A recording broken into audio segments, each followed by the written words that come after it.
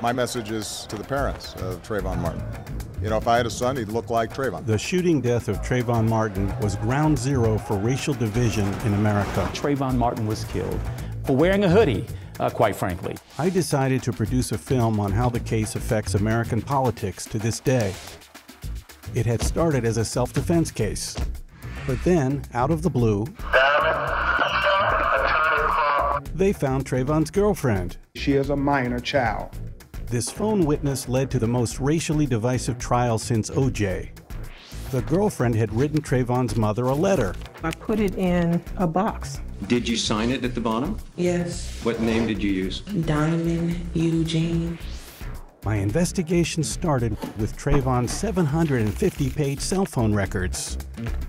I made a shocking discovery. Trayvon did have a girlfriend named Diamond Eugene, but she wasn't the witness at the trial. To understand what really happened, I knew I had to find the real Diamond. My research took me to the back alleys of Little Haiti. Maybe they can help me find Diamond. Yeah, maybe they will help. To the high schools of Miami Gardens. To Florida's capital city of Tallahassee.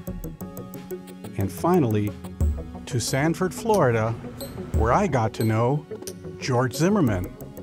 For the first time, he revealed Trayvon's last words. I heard him say, Tell Mama Alicia I'm sorry. Then I found a tape where Rachel confessed to prosecutors. Real guilty. Why do you feel real guilty? I ain't know about Huh?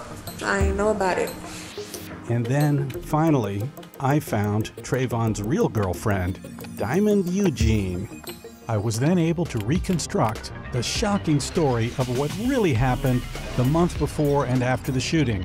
I used forensic handwriting analysis and even DNA to confirm what I had uncovered that Diamond was switched for a fake witness in a murder trial in the most stunning hoax in American judicial history, a hoax whose consequences have been tragic beyond anyone's imagination.